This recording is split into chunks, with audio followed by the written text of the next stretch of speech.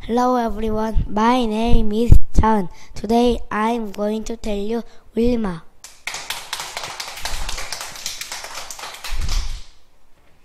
This is Wilma.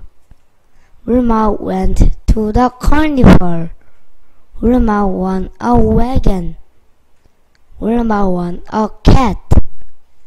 Wilma won a wig. Wilma won a cap. Wilma won a car. Wilma went home. Thank you for listening. Bye bye.